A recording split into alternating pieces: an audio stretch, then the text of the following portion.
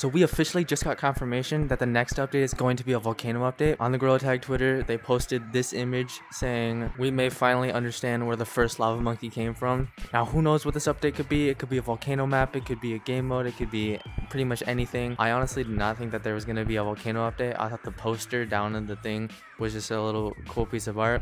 Also, something that I noticed is behind me. I think this has always been here, but it kind of looks like lava at the top. That's just what it looks like for me. But we're finally getting some actual lava monkey lore on where they came from. We also got more lore in the last update with the new dinosaur fossils, showing that there were actually dinosaurs before we just had the huge monkey skulls in the Halloween update. Who knows if we'll ever have an official storyline of Gorilla Tag. There was a 7 day notice for a Gorilla Tag update about five days ago. So in two days, we should be getting this volcano update, unless it's postponed to another update. But comment below what your best idea for what you think this volcano update might be.